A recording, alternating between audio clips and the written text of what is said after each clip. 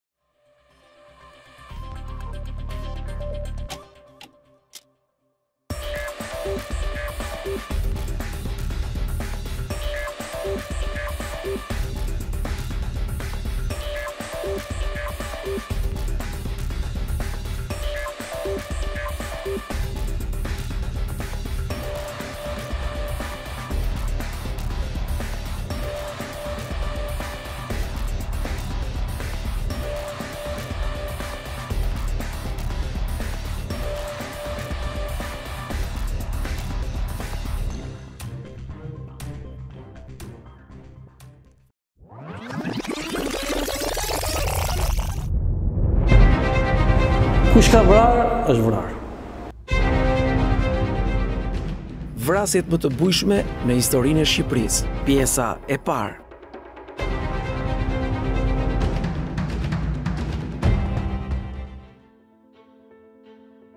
Hasan Riza Pasha, kur u vra ishte kryekomandanti i ushtrisë osmano-shqiptare për vilajetin e Shkodrës me gradën gjeneral. U plagos të enjten më tridhjetë janar një mijë e nëntëqind e trembëdhjetë, ora tetëmbëdhjetë e dyzet e pesë, dhe vdiq më tridhjetë e një janar një mijë e nëntëqind e trembëdhjetë, ora dy e zero zero. Mosha e viktimës, dyzet e dy vjeç. Autori i vrasjes, i panjohur. Bashkëpunëtorë në vrasje, Osman Bali dhe Mehmet Kavaja. Vrasja e parë mbas themelimit të shtetit shqiptar më 28 nëntor 1912 është pikërisht kjo me Hasan Riza Pashën. Pra, ajo ka ndodhur në 30 janar të vitit 1913 dhe kjo është vrasja e parë në historinë e shtetit shqiptar. Vrasja e parë e bujshme e madhe e një personaliteti si Hasan Riza Pasha që ishte akoma ushtria osmane nuk ishte larguar, pavarësisht shpalljes pavarësisë, Dhe ai mori një telegram nga kryeministri Ismail Qemali që ai duhet ta ta ta ta mbronte qytetin. Ë kjo ishte me dy autoritete, një si kryeministër i shtetit të ri shqiptar dhe dy si një e, e, politikan dhe personalitet i perandorisë osmane, të cilin Hasan Riza Pasha kishte mundësi dhe e njinte shumë mirë Ismail Qemalin. Por atë më shumë e thërriste detyra ishte ndjenja e detyrës ishte shumë e lartë dhe për më tepër me të vërtetë ai ishte nga Iraku, por shpesh e thoshte që un kam një origjinë shqiptare. Kjo e bënte atë, domethënë të të ishte shumë i lidhur. Megjithatë ne duhet të themi që heroi i parë, dëshmori i parë, vrasja e parë në Shqipëri e bujshme është e një të huaj i cili ishte irakian. por është një vrasje e mirëmenduar, e organizuar, tinzare, me një kurth dhe në, jo thjesht në tavë të kësaj ngjarje, po një organizator kryesor i kësaj është pa diskutim Esat Pashë Toptani.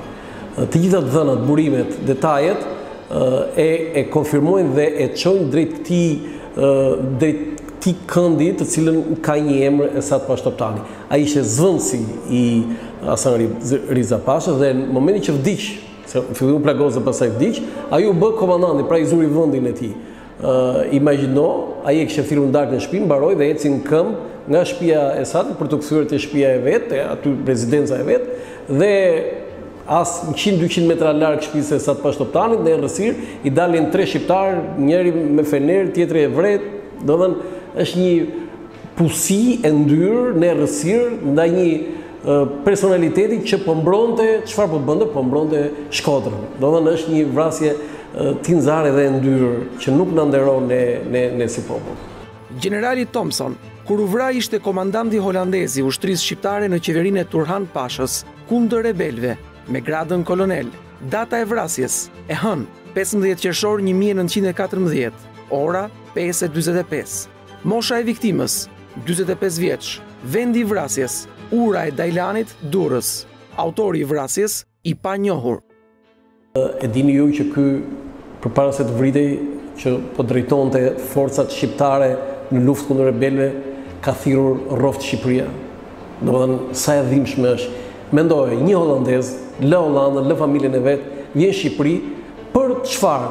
Për të stabilizuar atë principat Se në fakt ajo ishte mbretëri, po principatë se ne kishim princ dhe për të mbrojtur ose për të formuar shtetin zyrtar shqiptar nën mbrojtjen dhe protektoratin e fuqive të mëdha që në këtë rast e kishin caktuar gjeneralin Thomson, kolonelin Thomson, për të qenë komandanti i ushtrisë shqiptare dhe në në përpjekje me ato forcat që bërtisnin Dum babën, ato ato bënin thirrje për Turqinë, Dum babën, se fjala Dum babën këtë kuptim ka, dhe për Allahun, sepse ishte edhe një betejë, po themi e lidhur e kondicionuar edhe nga nga ndikimet myslimane të asaj kohe, dhe ky që u vra, ky holandezi që u vra koloneli Thomson, thërriste rroftë rroftë Shqipëria.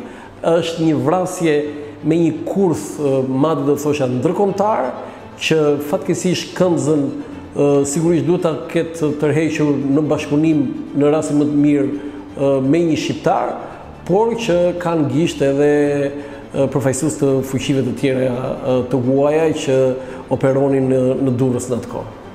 U vra te Ura e Dajlanit, aty ishin forcat rebele dhe forcat ky instaloi aty forcat e, e ushtrisë të rregullta, domethënë të të shtet të, të principatës shqiptare, po themi, dhe doja të të përmendja një fakt. Jo vetëm poezia e famshme e Fan Nolit, që njihet publikisht, nuk është nuk është e panjohur, ë që ishte një elegji, ishte një një një jo thjesht disa vargje, po është gati ato vargje duken si këngë. ë Noli i madh i ka i ka renditur aq bukur fjalët më fjalët më më të përzgjedhura, fjalët më të bukura në renditjen e tyre më të mirë. Fjalimin në ceremoninë e parë që u bë në Durrës, pastaj u bë ceremonia tjetër në në Hollandë, e ka mbajtur Faik Konica. Është një fjalim i jashtëzakonshëm. Domethënë është një fjalim me nota shumë emocionuese, me fjalë të mëdha, të bukura, të gjetura për ta ngritur në piedestal këtë hero të të shtetit shqiptar.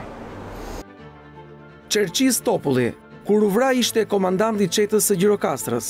Viktima të tjera në ngjarje, Mustafa Qulli, gazetar dhe drejtor i gazetës Populli, data e vrasjes, e shtunë, shtatëmbëdhjetë korrik një mijë e nëntëqind e pesëmbëdhjetë, ora katër e zero zero, mosha e viktimës, tridhjetë e pesë vjeç, vendi i vrasjes, fusha e Shtojit, Golem, Shkodër, autorët e vrasjes, pesëmbëdhjetë ushtarë malazezë, motivi i vrasjes, hakmarrje për vrasjen e peshkopit grek në vitin një mijë e nëntëqind e shtatë. Është një vrasje me një bashkëpunim serb grek malazez për të eliminuar një simbol të luftës për pavarësi të Shqipërisë. Ka shumë mistere, unë edhe në konceptin e librit e kam të mbështetur në fakte, po sidomos mistere që rrethojnë një ngjarje. Por misteri kryesor i i i, i Çerçiz Topullit në këtë histori, në këtë ngjarje të rëndë që ai mbeti i vrarë, është largimi i tij nga jugu, nga Gjirokastra dhe shkoi në veri. Ka një teori Elian që në pavarësinë e Shqipërisë kanë luftuar gegët dhe toskët nuk kanë luftuar. ë Çerçiz Topulli jo vetëm që e ka përmbysur këtë, por ai nga jugu shkoi në veri për të mbështetur dhe për të luftuar atje. Kontributi i tij në Toskëri, në luftë për pavarësinë, është i jashtëzakonshëm. Jo vetëm ato beteja që ne i dimë, Mashkullora e bla bla, po mjaftonte vetëm ekzistenca e çetës së tij ishte një rezistencë edhe edhe në në perceptimin e opinionit publik.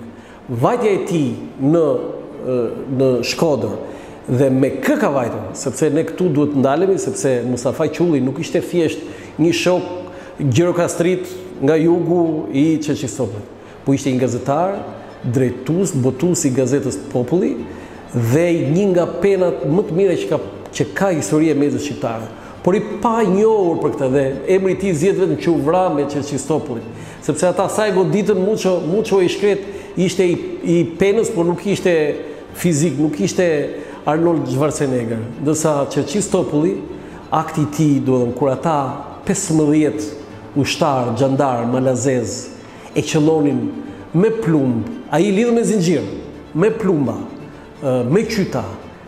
Me bajoneta, me çfa kishin ata dhe ai prap rezistonte, domethënë është një është një ë skenë që nëse një ditë një regjisor do do ta do ta do ta skenarizonte do ta vinte do ta do realizonte një një film një produksion një film pa diskutim që imazhi duhet të merrte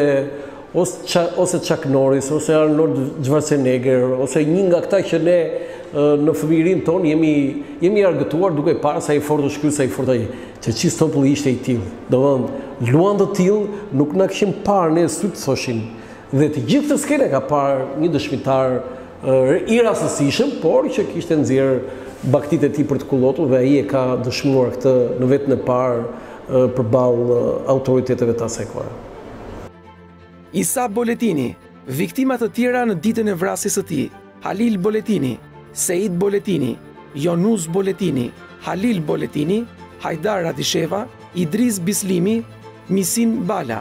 Kur u vra Isa Boletini, ishte organizator i kryengritjes për çlirimin e trojeve shqiptare. Data e vrasjes, E diel, njëzet e tre janar një mijë e nëntëqind e gjashtëmbëdhjetë, ora, njëzet e një e trembëdhjetë, mosha e viktimës, pesëdhjetë e tre vjeç, vendi i vrasjes, Ura, Ribnica, Podgoricë, Mali i Zi, autori i vrasjes, Pero Buriç, bashkë me një kompani xhandarësh malazez, prej tetëdhjetë personash. Komandanti i truprojeve të Sultan Abdylamitit u bë prijësi i rezistencës dhe simboli i rezistencës së Shqipërisë. Isa Buletini ka qenë komandanti i truprojeve të Abdylamitit të Sultanit. Dhe jo më kot Ismail Qemali e mori në Londër.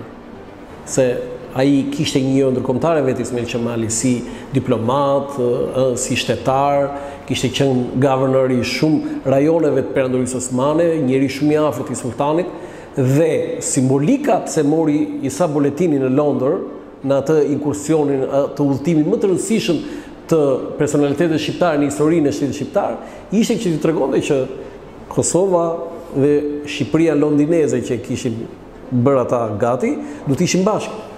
Por çfarë ndodhi? Kjo u pasua më pas me një target që e vunë serbët për ta eliminuar Isa Boletinin, që ishte një autoritet i jashtëzakonshëm. Ai nuk kishte, ai nuk kishte diplomë, nuk kishte i arsimuar, nuk kishte, por autoriteti i tij dhe shpirti i tij patriotik është i pakrahasueshëm me asnjë figurë tjetër. Habitem, herë pas here Elian dhe jam habitur me ato çfarë kam lexuar për figurën e Isa Buletinit dhe them që se si një njeri i paarsimuar të kishte një ndjenjë kaq të lartë patriotizmi. Të tillë çfarë që kur bënte inkursione, jo vetëm vetë ishte trim, po merrte edhe djemtë e vet, merrte niprit. Ai është vrarë bashkë me niprit aty. Domethënë, vetë i, domethënë, të gjithë i kanë i kanë sharruar kur themi në në atë zhargonin e ulët të një vrasje masive, ajo ishte një vrasje masive. Në urën e Podgoricës, i zunë pusi e bllokuan nga njëra anë, edhe nga ana tjetër dhe ata mbetën në mes të saj. Dhe batareja e armëve ishte e tillë që u vranë të gjithë dhe është një është një masakër. Ajo është një vrasje masive. Nuk është thjesht një vrasje, vranë në një atentat Isa Boletinin, sepse ata vranë shpirtin e patriotizmit shqiptar, të rezistencës.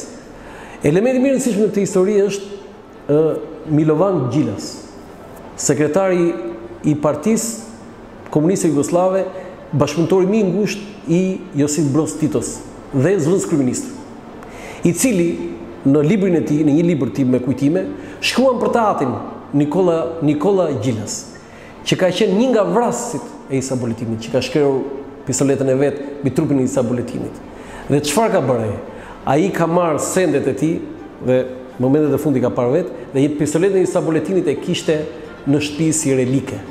Dhe unë jam rritur, thotë Milovan Gjilas, në shpinë time, me pistoletën e një shqiptari, të cilit me shqiptarit më patriot që ka njohur historia, thotë ai, dhe që kemi njohur ne serbët. Dhe ne e mbanim në shtëpi pistoletën e Isa Boletinit në moment që e kishte në momentet e fundit të jetës. Shikoni se çfarë çfarë rëndësie dhe çfarë vlerësimi i bënin serbët. Dhe vetë Nikola, ai që qëlloi, ishte, thotë, e shpreh i biri, Milovani thoshte, jam habitur ku e gjente gjithë atë madhështi ky shqiptar, kaq, domethënë, si s'pati një ndjenjë frike, si nuk u tut fare nga plumbi, si nuk, përpara se të ne ta vrisnim, të, të, kishte një ndjenjë, ore, prit mos më vrisni, Por absolutisht ishte i gatshëm të, të ndodhte gjithçka me të dhe nuk e kishte problem fare. Dhe kjo pistoletë ka ka qëndruar në shpinë e tyre ë deri vonë. Pistoleta që vrau Isa Boletinin. Ë ka ë, ata e varrosën se ka dhe disa varrime, ka disa elemente të, të varrimit të tij dhe më vonë pastaj, bile para disa vitesh, bënë një varrim tjetër, po si e kanë njohur, sepse kur ishte i vogël, ky ka prerë një gisht, në një, një incident, Isa Boletini dhe ata e kanë njohur eshtrat, domethënë sepse i mungonte një gisht, dhe këtu e kanë njohur, këtu ishte njohur, njerëzit e tij kështu e kanë njohur Isa Boletinin. Ismail Qemali, kur u vra ishte delegat i Shqipërisë në Konferencën e Paqes në Paris. Data e vrasjes: e premte, 24 janar 1919, ora 23:50. Mosha e viktimës: 75 vjeç. Vendi i vrasjes: Hotel Brufani, sheshi Vittorio Emanuele, numër 7 Perugia, Itali. Autori i vrasjes: pa autor. Motivi i vrasjes: për rivalitet politik. Shikon me kujdes fotografinë e Isa Boletinit me Ismail Qemalin, aty domethënë këtë detaj mund ta dallosh që atij i mungon një gisht. Domethënë është një detaj që kapet shumë. Por është është me vërtetë një vrasje e rëndë, makabre, e ndyrë, e pisë, me pusi, që edhe aty kanë kanë dorë pa diskutim disa disa kombësi. do serb, malazez, domethënë që që se kemi parasysh që në këtë kohë kanë ndodhur disa vra, kanë ndodhur shumë vrasje, edhe Ded Gjo Luli, ky ka ka dhe vrasje të tjera të disa patriotëve që u bë një planizim dhe Shkodra e asaj kohe në këtë rajon, në rajonin e Shkodrës po themi, i kishte gjashtë konsullata. Ato konsullata nuk ishin miq, mi, mike të Shqipërisë. Greke, serbo, slavo etj etj, domethënë kishin ruse, kishin kishin por ruse në në Shkodër nuk kishin, kishin në, në Mal të Zi. Themeluesi i shtetit shqiptar Ismail Bej Vlora, sepse emri i tij është mbiemri i tij është Vlora, Qemali ishte emri i mesit siç kemi ne Siç ka emër mesit që ishte dhe e them këtë Elian sepse ë regjimi komunist i Enver Hoxhës me vendim i ka ndërruar mbiemrin e familjes. Dhe unë për këtë kam bërë një dokumentar. Ë është dëshmori, domethënë ai në në fjalimin e tij kur themeloi shtetin tha le të bëhem unë tha dëshmori i parë i këtij shteti. Dhe e deshi, e, e, domethënë e ndolli, domethënë gjithë ato që tha. Në vitin 1919, as 7 vjet, po nis nga detajet e kësaj, e kësaj që unë e quaj vrasje, dhe nuk është vdekje natyrale. Katër shqiptarë është e vërtetuar që kanë fjetur, kanë marrë biletat, kanë prerë biletat, kanë hipur trenit, dhe kanë bujtur në Perugia, në hotelin përballë, hotel Brufani, që ky vdiq. Domethënë një, e dyta. ë pronari i hotelit Brufani, përpara se të ndërronte jetë, në duart e të birit, të cilit ai e tregon vetë këtë, ë thotë më ka ngelur peng o bir se vdiq në moshë madhore, vdekja e tij, helmimi, vrasja thotë ai. e atij kryeministri shqiptar në hotelin tonë.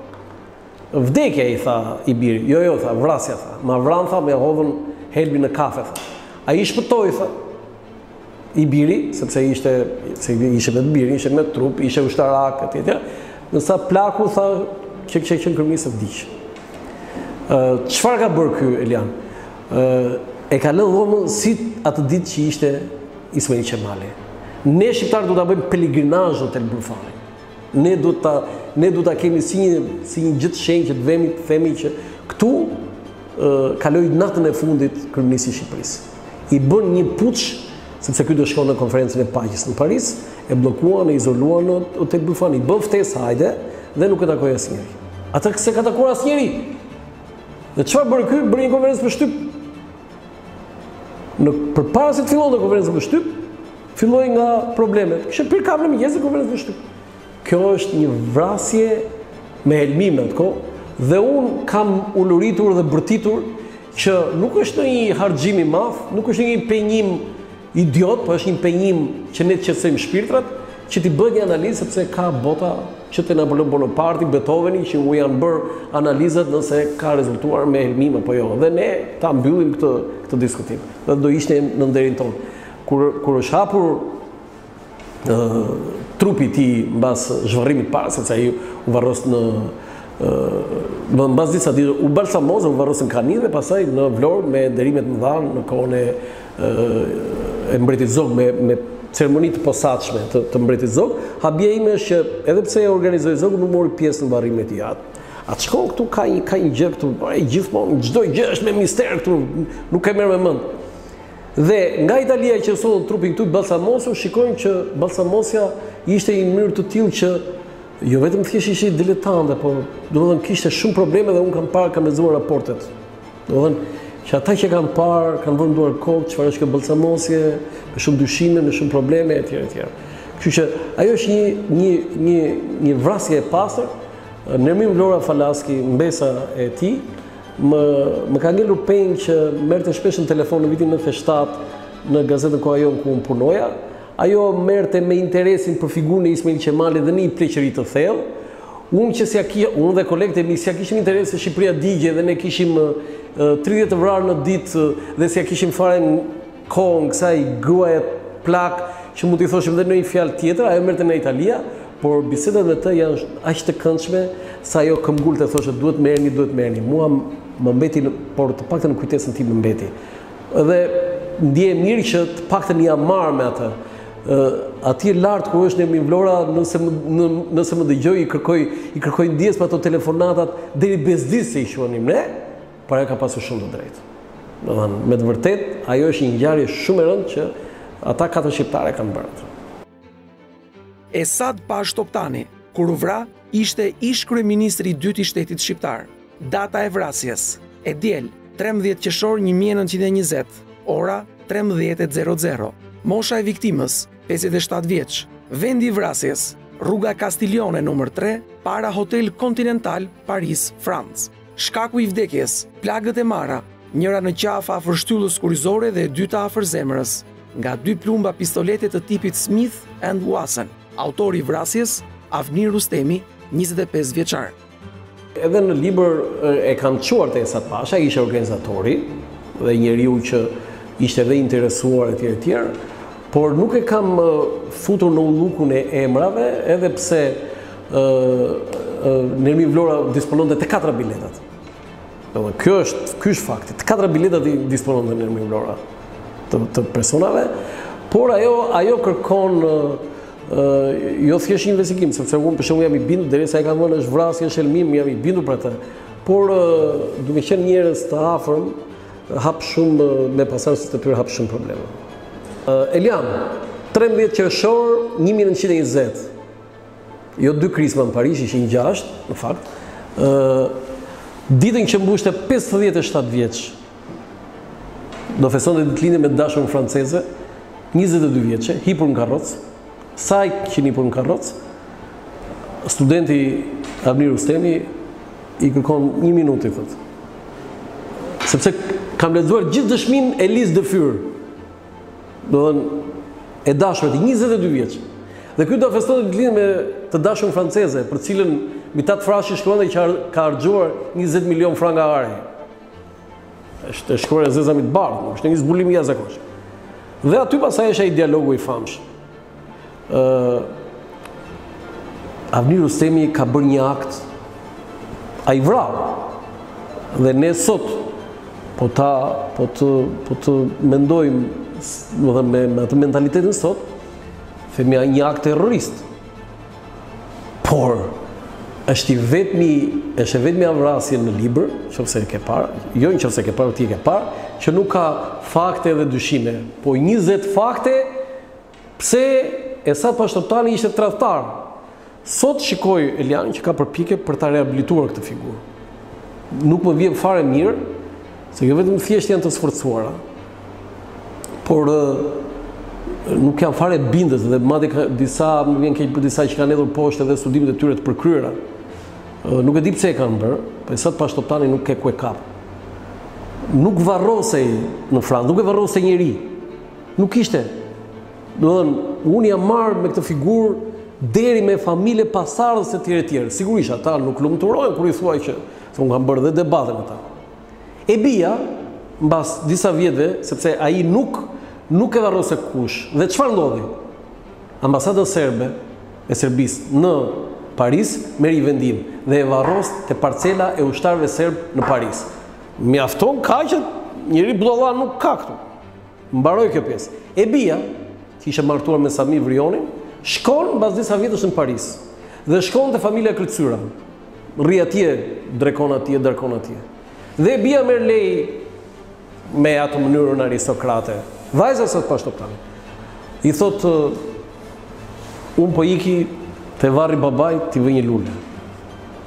Dhe Samiu, domethënë i shoqi, bashkëshorti i thotë, në qoftë se ti do shkosh atje, nga ky moment nuk je më gruaja ime. Kjo është e treguar, është treguar nga njerëz të afërm të familjes, të cilët unë i kam intervistuar dhe e kam në libër.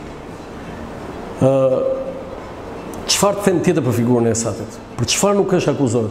Ai ishte fëmijë me gjithë vllajin e e e mbuloi të atin me me me një rrog rrogos që quhej në atë kohë, i vu, i hodhi dhe naftë, edhe kërcënonte që do të djek.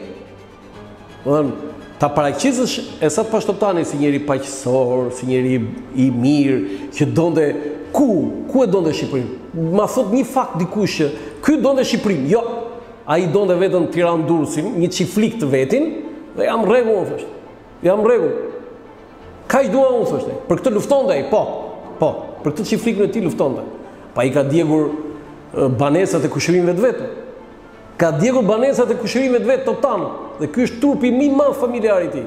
Qoftë se do futemi te pjesa e familjes, nuk e di disa sepse emri mbiemri Toptani mori një konotacion negativ prej këtij. Por mbiemri Toptani shumë herë më i madh se emri i Esat Pashë Toptanit dhe nuk e njollos dot mbiemrin Toptani të madh të nderuar që ka Tirana dhe gjithë Shqipëria me Abdi Toptan e Refik Toptan që më vjen keq e janë që nuk kanë marrë ato që, që meritojnë në fushën e artit, në fushën e arsimit apo në fushën e e, e shtetformimit shqiptar domethënë një Toptan shkoi me Ismail Qemalin dhe i tha i vuri kuajt në dispozicion Abdi Toptani dhe ikën në Vlorë, ti vëlla shkon në Tiranë dhe shpalle pavarësinë atje. Ej, këta e donin Shqipërinë kur nuk kishte Shqipëri. Ndërsa Esat Pashë Toptani ku ishte në këtë moment? Çfarë bëri? Bëri një qeveri paralele me Ismail Qemalin, ndërkohë që Ismail Qemali e thirri, tha hajde je ministër i brendshëm. E ka emëruar ministër i brendshëm. Jo i tha ai dhe erdhi bëri Si a mund të vihen në peshore Esat Pashë Toptani dhe Abdi Toptani, kjo figurë e madhe, a mund të vihet Esat Pashë Toptani dhe Refik Toptani? Ja, është është e pamenduar. Kështu që familja Toptani është një familje e nderuar dhe të jenë të aq të lumtur që kanë nxjerrë aq shumë emra që i kanë dhënë Shqipërisë dhe dhe kanë dhënë nga vetja për këtë Shqipëri, por emrin e Esat Pashë Toptanit Mos mos të sforcohen, se s'ka nevojë të sforcohesh, as për ta bërë më të keq, as për ta bërë më të mirë. Nuk ka nevojë të sforcohen. Në libër ke një fakt, në vitin 2012, mos gaboj, mos gaboj vitin, ë ë ministri Vulin ka vendosur një kurorë me lule atje. Domethënë, 100 afër 100 vjet më pas, një ministër i qeverisë serbe vendos kurorë me lule, vete posaçërisht te varri i Esat Pashë Toptanit vendosi kurorë me lule tani më fal tani. Dhe reag, kur u vra Esat Pashë Toptani reagimet më të mëdha kanë qenë të të të Serbisë. Si pyetja ime përtej këtyre, si nuk doli një familjar i Esat Pashë Toptanit dhe të bënte një reagim atë kohë. Ke lexuar gjë ti? Jo në atë kohë, se mirë ok Enver Hoxha e e manipulonte dhe e bënte si 50 vitet e më. Por në atë kohë 1920 deri në 45 si s'doli një familjar i Esat Pashë Toptanit edhe të thoshte Ore dalo se na vranë babanë, vëllanë, xhaxhanë, kushëririn, fëmijët e vet, dy vajzat e veta, ai s'njihte fëmijët e vet. Nuk njihte fëmijët e vet. Jam vajza jote i tha, duke mbushur ujë bie. Kështu që nuk ke, do është është një diskutim i kot. Mundohen disa ta ngrejnë, ta ta rehabilitojnë figurën e tij, por nuk nuk është ky rasti.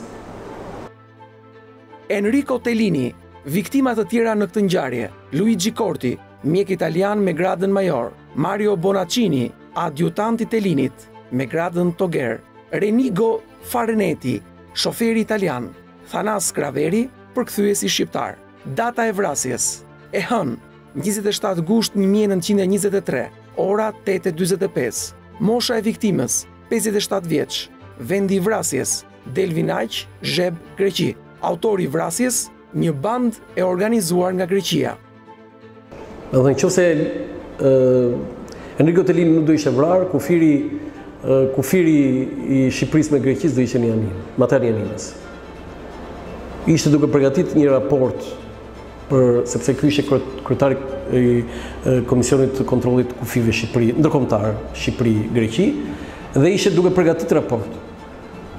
Kishte qenë gjeneral në luftën e parë botërore, një nga gjeneralët ushtarakë më të famshëm italianë, një nga më të besuarit e Benito Mussolini që kur u vra ky dha urdhër dhe është pushtuar Korfuzi dhe ajo është është bërë me një kompensim pastaj tërheqje të trupave, ka bërë një pagesë të majme Greqia Italisë, në një farë mënyre ka pranuar, por vrasja e këtij, ky njeri i jashtëzakonshëm që mua më Kur jam marrë me këtë figurë më ka dhembur shpirti se se sa i drejtë ishte mo Elian.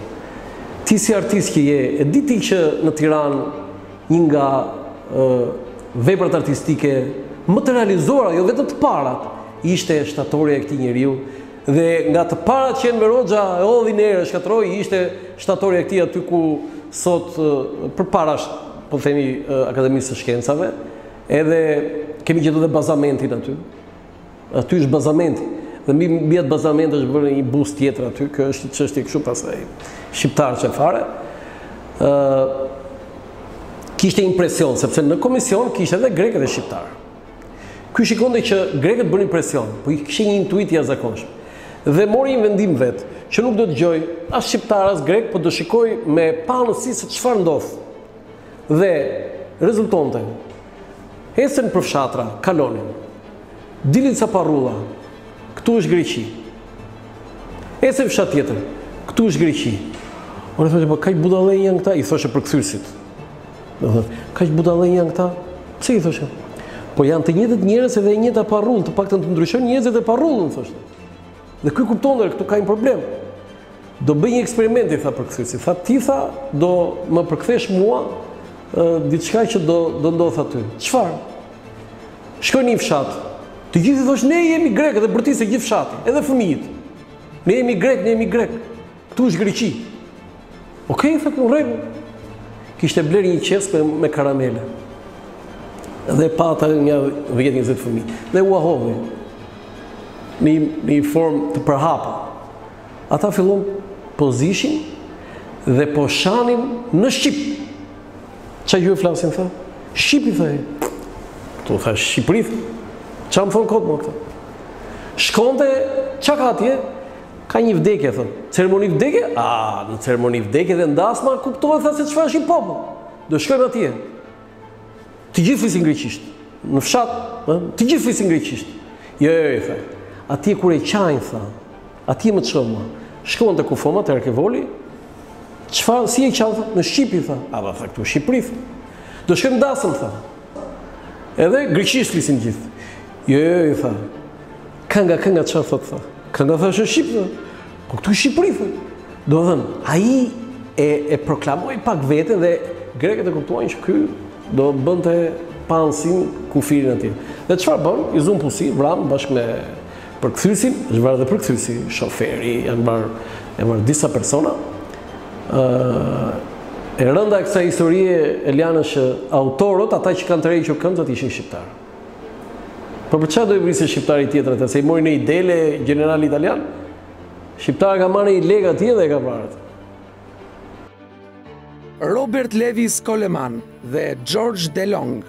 Kur u vra, Coleman ishte financier në San Francisco, SHBA, ndërsa George DeLong, pronar i një kompanie për shitje makinash. Data e vrasjes, e diel, 6 prill 1924, mosha e viktimës Coleman, 53 vjeç. Mosha e viktimës Long, dyzet e nëntë vjeç, vendi i vrasjes, në kilometrin e tridhjetë të rrugës Tiranë-Shkodër, te ura e Përroit, Mamurras. Jam shumë krenar që kam arritur të zbardh një ngjarje për herë të parë, e them këtë për herë të parë të plotë, Kam qenë në vendin e ngjarjes, kam isken kemi bërë inskenimin me me bashkëpunëtorët e mi, me regjisor, me gazetar, se si ka ndodhur ngjarja, vendin fiks dhe them që Elian ishte njësoj se ë ë Koleman dhe Delong dy amerikanët, nuk ishin thjesht dy qytetarë amerikanë. Ishin dy miliarderë amerikanë, sikur sot larg qoftë të vritet Warren Buffett dhe Bill Gates. Ata kishin ardhur për turizëm. Zbritën në Durrës, kanë fjetur një natë në Tiranë dhe anijes tyre i thanë dilni në Shëngjin, ne do kalojmë nga rruga e veriut, shumë që është rruga e veriut. Dhe në momentin që në momentin që në momentin që ai kalon në ato rrugë aty, pastaj ka ndodhur pusia. Çfarë ishte kjo ngjarje? Gjithçka është bërë nga shërbimi sekret serb. Autorët ishin shqiptar, gjetën disa kaçakë, disa hajdutë male që në atë kohë kishte, Dhe i zbritën i thanë vritini sepse këtu do të do kalojë një makinë e tillë e tillë. Ata kishin marrë një taksi. Elian,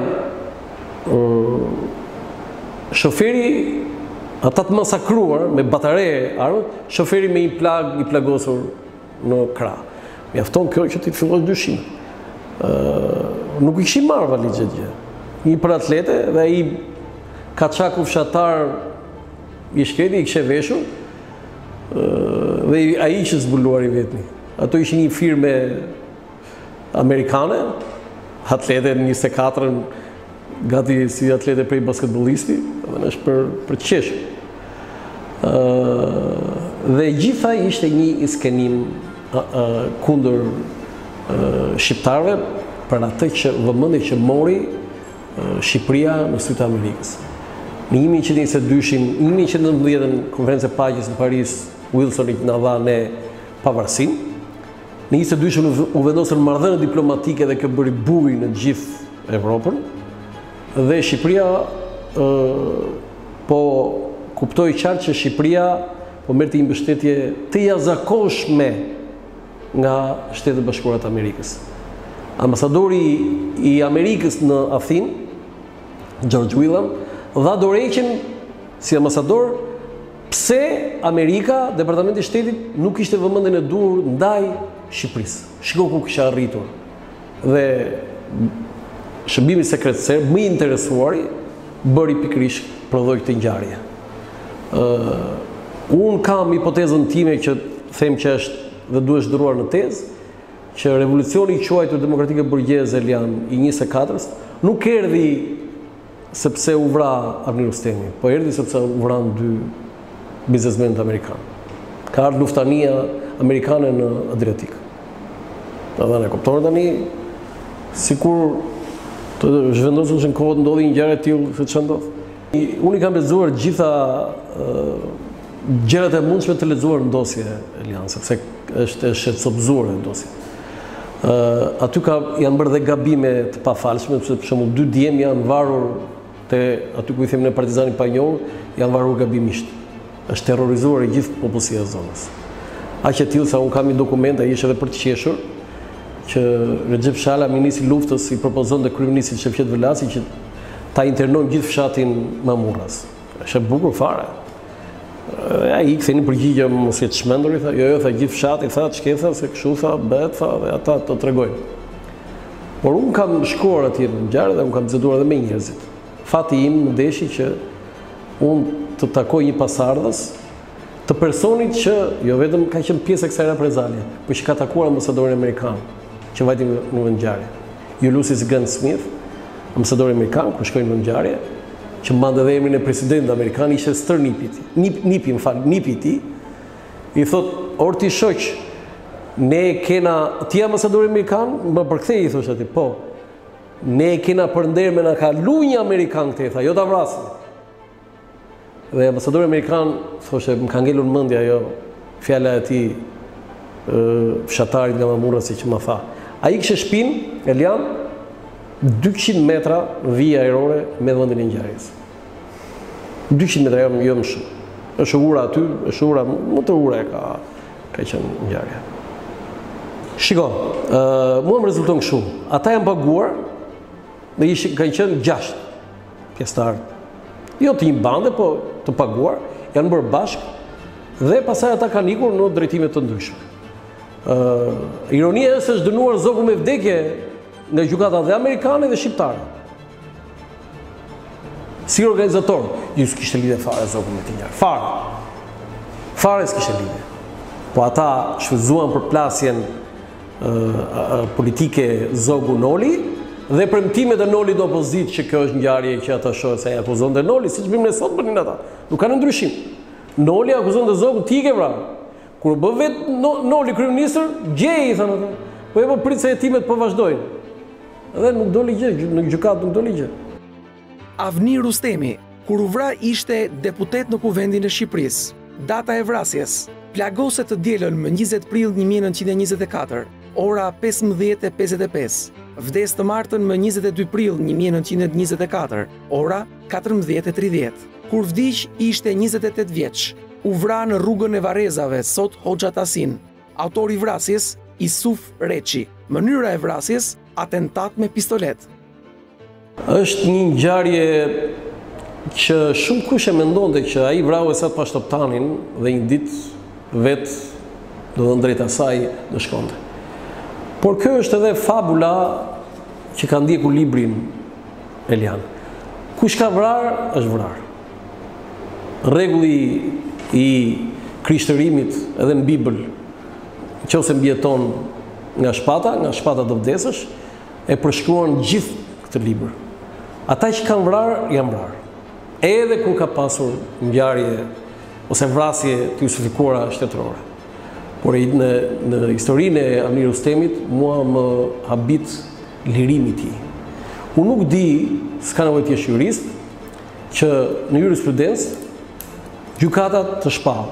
Avni Rustemi shpallet autori i vrasjes, presje, i pafajshëm. Lirohet në sallë gjyqi. Ku është? Çfarë rregulli jurisprudence ka kjo? Çfarë? Ku?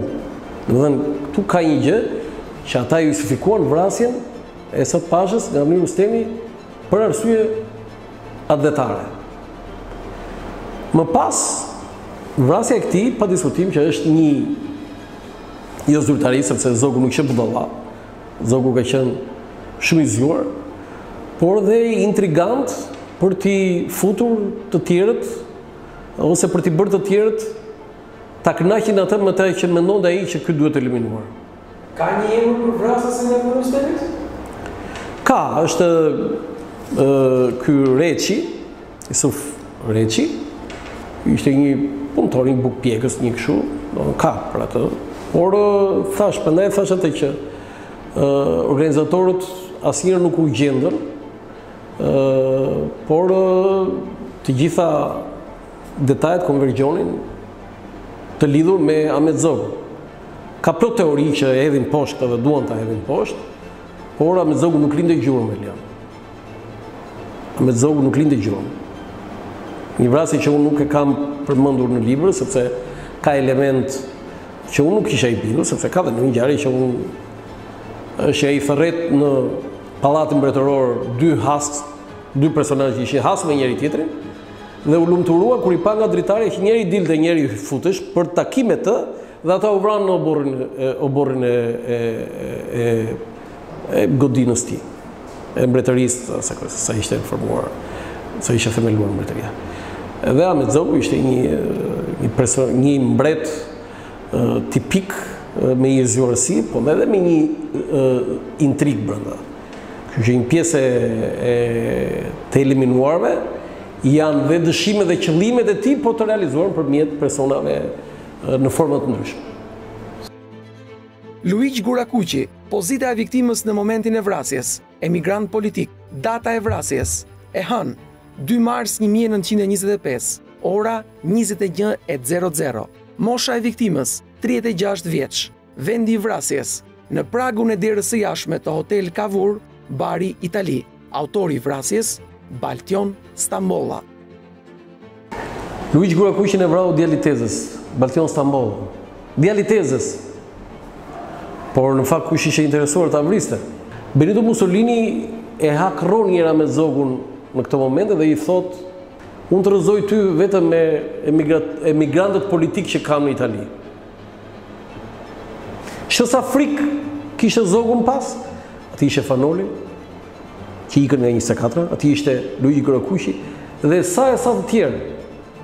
Luigji rrinte në Bari, pa lekë, i varfër, i varfër. Dhe atë moment kishte blerë një kukull për t'ia dhënë dhuratë vajzës së një miku të vet. Merr leje në hotel që ishin duke darkuar, i thotë, më falni, thotë, do shkoj se ka ditëlindjen vajza e një miku tim.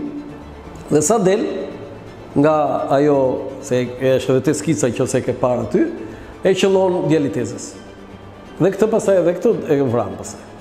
Domethënë, është vrarë jo ai delegati i pavarësisë e firmëtari, Po hartuesi dhe shkruesi i proklamatës së pavarësisë, ai që e formuloi sot në Vlonë në vjeshtë të tretë, janë të Luigj Gurakuqit këto. Ajo shqipja e tij e ëmbël e mësuar te arbëreshët, se ai ka studiuar atje, te arbëreshët e Italisë, dhe ky njeri befas këtë e vrasit. A e kupton çfarë kemi vrarë ne, ke, ne kemi kositur Bijtë më të mirë të këtij kombi, mendjet më të ndritura. Domethënë, sheh sa e gjatë është lista e jo thjesht 30 politikanë janë, nga 100 janë vrarë 30 politikanë, po janë 30 figurat më të rëndësishme, më të ndritura të të Shqipërisë, të historisë së Shqipërisë. Bajram Curri, kur u vra nuk kishte asnjë post politik. Data e vrasjes, e diel, njëzet e nëntë mars një mijë e nëntëqind e njëzet e pesë, ora nëntë e zero zero. Mosha e viktimës, gjashtëdhjetë e tre vjeç, vendi i vrasjes, Shpella e Dragobisë, Tropojë, autor i vrasjes, nga xhandarët e Ahmet Zogut, që drejtoheshin prej Ceno Bej Kryeziut. Në Shpellën e Dragobisë, nga forcat e xhandarmërisë, të dërguara nga Zogu, në krye të cilave ishte Ceno Bej Kryeziu, dhëndri i tij, domethënë kunati, i cili kishte një hasmëri të madhe të vjetër me Bajram Currin dhe që iu dha rasti që edhe eliminoi. Më pas edhe Ceno Bej Kryeziu u vra kur ishte ambasador në Çeki. Të cilin mund ta ketë vrarë Zogu? Kë? Të cilin mund ta ketë vrarë Zogu? Jo vetëm mund ta ketë vrarë Zogu, po ai i ka gjetë letra komprometuese kunatit vet që po punonte për të eliminuar Zogun dhe bashkëpunonte me serbët. Kjo është, kjo është një e vërtetuar nga, nga shumë studiues, nuk është nuk e nxjerr unë për të parë këtë gjë. Mbas vrasjes së këtij, djali i tij Princ Tati, që është në çdo fotografi një një fëmijë i veshur ushtarak, ai e mori në kujdestari Zogu dhe e kishte e kishte po themi një Zogu nuk ishte thjesht daja, daja mbret. Po ishte ishte po themi një lloj adoptuesi, domethënë babai i tij, po themi. Dhe Princ Tati ka histori aq të dhimbshme, po aq Të gëzuar momente të veçanta, ai sa një ambasador Post Wheeler kur kur bëri një libër, ta kam thënë dhe të, ia dedikoi pikërisht kësaj historie. Po kjo është lidhja, është djali i Ceno Bej Kryeziut. Bajazit Doda, sekretari i albanologut austro-hungarez Franc Baron Nopça, kur u vra ishte dyzet e katër vjeç. Vdiq të martën më njëzet e pesë prill një mijë e nëntëqind e tridhjetë e tre. Vendi i vrasjes, rruga Singerstrasse dymbëdhjetë, banesa numër një, Vjenë, Austri. Autor i vrasjes, i dashuri i tij, Franc Baron Nopça. E merr shërbëtor në shtëpi që fëmijë mund të jetë dhe një abuzim. Shpesh e kam menduar këtë gjë. Dhe pastaj e shndërron në homoseksual, një djalë nga Reka e Maqedonisë, domethënë Reka njihen janë të krishterë, jo janë të krishterë, nuk janë muslimanë, Sot ata pothuajse e kanë asimiluar pjesën fetare, e merr në Vjenë një familje e varfër, e merr atje, e rrit, ai shërbëtor, as dhjetë vjeç, dhe bë befas, e bën homoseksual atë dhe shkon vetë. Dhe në fund, vret atë dhe vret dhe veten. Tani, Ë Baron Nopça është një albanolog jo thjesht i shquar dhe ka një kontribut të jashtëzakonshëm për uh, historinë e Shqipërisë. Kjo nuk vjen diskutim, se ai ishte edhe austro-hungarez, domethënë, edhe uh, edhe austriak, edhe origjina e familjes së tij. Por në këtë rast, unë them se këtu kemi kemi të bëjmë edhe me një lloj abuzimi të tij, sepse ai nuk la asnjë lloj, ishte në letrën që la, ishte shumë i kthjellët. Por nuk la asnjë gjë nga pasuria e tij ta linte për pasardhësit e atij me të cilët uh, ai bashkëjetoi. Domethënë ka shumë ka shumë mistere kjo gjë. ë uh,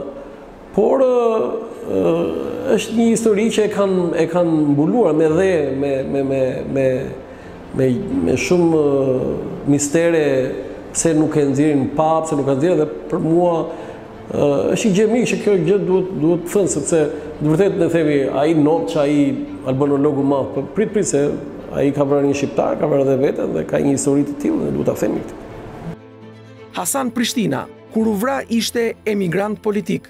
Data e vrasjes, e diel, trembëdhjetë gusht një mijë e nëntëqind e tridhjetë e tre, ora katërmbëdhjetë e zero zero. Mosha e viktimës, pesëdhjetë e nëntë vjeç. Vendi i vrasjes, kryqëzimi i rrugës Çimisqi me rrugën Voga Xhiku, Selanik, Greqi. Autori i vrasjes, Ibrahim Çelo nga Resnja e Maqedonisë.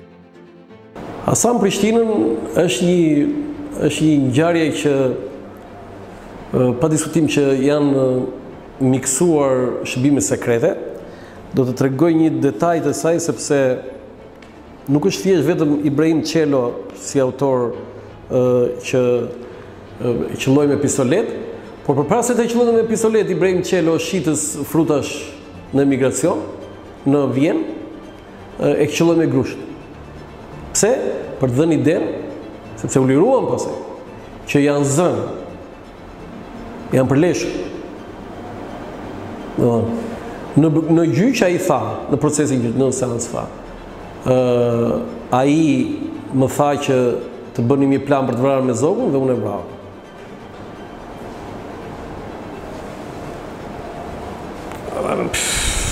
Kërcet aq shumë sa por ai ishte i dërguar për ta eliminuar dhe përkonte shumë dhe dhe shërbimet sekrete serbe, sepse ai po Hasan Prishtina, kryeministri, se ka qenë kryeministër i Shqipërisë, 5 ditë po ka qenë kryeministër, kishte ngritur një komitet që Kosova të të bashkohej me Shqipërinë në atë kohë. Dhe ai ishte njeri i pasur. Ai ishte tipik nga këta pushtetarët që ka pasurinë e tij e dha për shtetin shqiptar. Edhe sot në Selanik Elian është godina, shpia e tij, vila e tij, e cila është bërë befotrop për fëmijët, edhe sipas rregullave shqiptarëve, pasardhësit kanë ato problemet e tyre gjyqësore tani, por figura e Hasan, Hasan Prishtinës është nga më madhoret në historinë e shtetit shqiptar dhe edhe ai u vra. Qemal Stafa, kur u vra ishte kryetari i Rinisë Komuniste Shqiptare. Vdiq të martën, më pesë maj të vitit një mijë e nëntëqind e dyzet e dy, ora nëntë e tridhjetë e pesë. Mosha e viktimës, njëzet e dy vjeç. Vendi i vrasjes, Tiranë. Qemal Stafën e vranë të shtatë ata që ishin brenda në një shpi me të. Nga pak të gjithë. Pse e them këtë? Të shtatë përfunduan keq. Ishin brenda në shpi me të. Kush? Drita Kosturi ishte e fejuara e tij, ishin të fejuar. Ajo u arrestua. Drita Kosturi mas 90-të e shikoje rrugët e Tiranës shumë lehtësisht. Po ishte ishte e fejuara e tij të shtatë që ishin në një shpi me me me Qemal Stafën e kanë vrarë të Nga pak të gjithë. Pse? Sepse edhe në rrëfimet e tyre ka mospërputhje. Dhe unë këtu shikoj të gjithë dyshimet.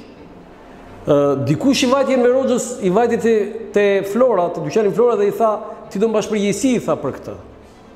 Dhe Enveri i ngatërron datat ose më saktë ngatërrohen tëra datat, data 3, 4, Më përpara ishte me mua, s'ishte me mua. Tani, a është e qëllimshme kjo apo jo, ne nuk mund ta themi pas 100 vjetëve këtë. Por, ajo që është për të thënë është që ky do ky do nisesh më përpara dhe është shtyrë. Kam lexuar raportet e kuesturës të asaj kohe dhe telegramet italiane. Dhe më i rëndësishmi them është ta them këtu, Informatori ynë mësoi, informatori, do të thotë spiuni ynë atje, mësoi se Qemal Stafa ndodhet në filan shpi, në, filan gjë dhe ne e ndoqëm dhe e rrethuam. Është një telegram, ekziston ky telegram. Ekziston, firmosur Papalilo, kuestori. Margarita Tutulani dhe Kristaq Tutulani. U vranë të mërkurën, më gjashtë korrik një mijë e nëntëqind e dyzet e tre, ora tetëmbëdhjetë e zero zero, mosha e viktimës Margarita Tutulani, tetëmbëdhjetë vjeçe, mosha e viktimës Kristaq Tutulani, njëzet e katër vjeç, vendi i vrasjes, Gosë, Kavajë. Autorë të vrasjes, Një skuadër e milicisë që ishte duke i shoqëruar nga burgu i Durrësit.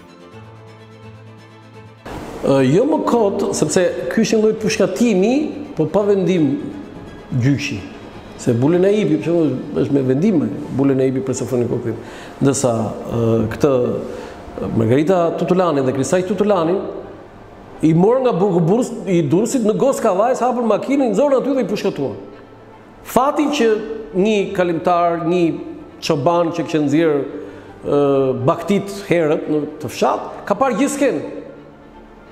Domethënë ata i kanë vrarë. Një nga intervistat që un kam marr për këtë edhe për këtë ngjarje, po edhe për jetën e tij, ishte Sefi Protopapa, ka pasur e ka pasur në një klasë Margaritën. Ishte një vajzë e bukur, gjithë çunat e klasës, ne gjithë çunat e klasës kishin bërë dashuri me Margaritën, thoshte. Po ai ishte i bindur që e ka spiunuar te italianët Ramiz Alia. Nuk vërtetohet shumë kjo, nuk ka shumë domethënë qasje për ta vërtetuar. Është një lloj një hipoteze që e hidhnin kundërshtarët politikë. Por Ramiz Alia ka qenë aty në Berat atë ditë. Ky është fakt. Por është është i pamjaftueshëm. Dhe kur është i pamjaftueshëm, nuk nuk mund të sforcosh me hajde tani të bëhesh kundër komunistëve, kundër Ramiz Alisë, se këtë e bëri Ramiz Alia. Nuk mund ta nxjerrësh dot këtë konkluzion. Por u vranë dy të rinj simbol të rezistencës dhe më shumë se kaq simbol të idealizmit patriotik.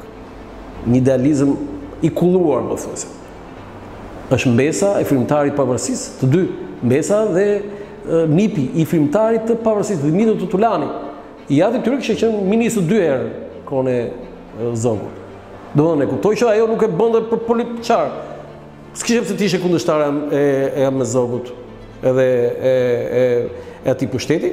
Po e bëri për idealizëm kundër fashizmit, pik, nuk ka ajo, a ishte komuniste, po komuniste, i ka marrë dalldia, u çmendën, u çmend Evropa, u bë komuniste, jo Shqipëria, aq që s'e njihte, s'e njihte komunizmin fare. Domethënë i vranë ushtarët italianë? Po, bashkë me, me shqiptarët, milicë shqiptarë dhe italianë, bashkë.